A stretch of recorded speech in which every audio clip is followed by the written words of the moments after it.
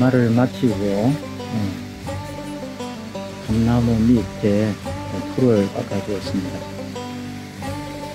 어, 풀을 깎는 요령을 조금 말씀을 올린다면 장마가 오기 전에 한번 깎고 장마가 그치고 나면 다시 한번 풀을 깎아주면 될 것 같습니다. 그런데 깎지 않게 되면 여기 잠시 계속 깎지 않고 두었던 것을 잠시 보여드리겠습니다. 이렇게 예, 풀이 질겨집니다.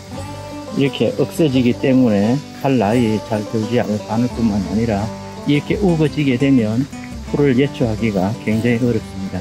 그래서 지금 여기 보시게 되면 이렇게 감나무 밑부분을 깔끔하게 깎아주었습니다.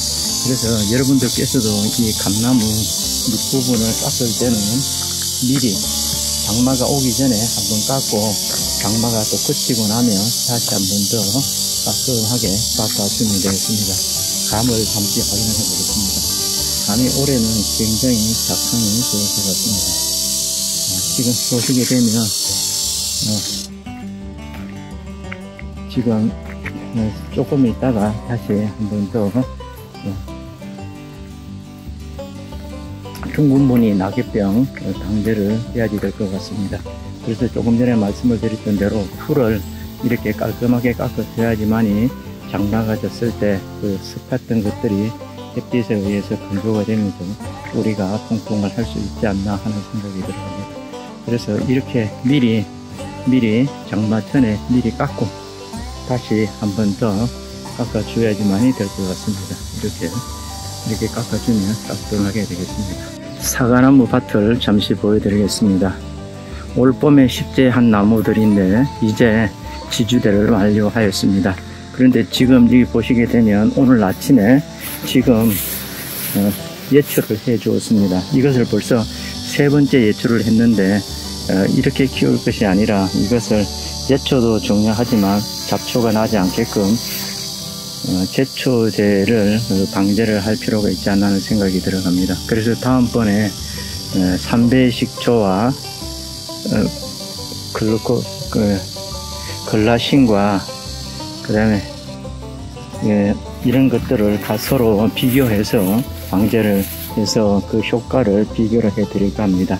그래서 지금 보시게 되면 이렇게 장마가 졌을 때 어느 작물이나 마찬가지겠지만 뿌리 부분이 산소가 잘 들어갈 수 있도록 이렇게 풀을 깎아 줘야지만이 될 것 같습니다. 그래서 지금 이렇게 깎아 놓고 나머지 부분들은 어, 기계를 어, 기계를 어, 농기계 그 임대사업소에 가서 빌려서 깎을까 합니다.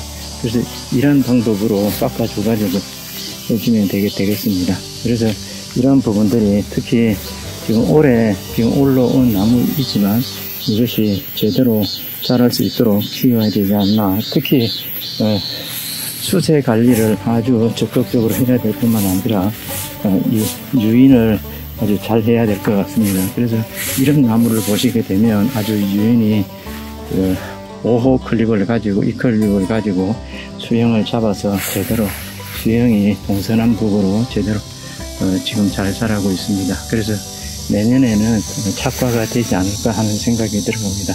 그래서 어, 제가 볼 때는 처음부터 이것을 어, 제초제를 가지고 재배를 해야지만이 더 수월하게 재배를 할 수 있지 않나 하는 생각이 들어갑니다. 지금 여기 보시게 되면 전밭에 풀이 너무나 우거지기 때문에 이것을 도저히 관리할 수가 없어서 조금 있다가 나중에 기계를 임대를 해서 예약된 것을 임대를 해서 어, 예출을 할까 합니다. 감사합니다.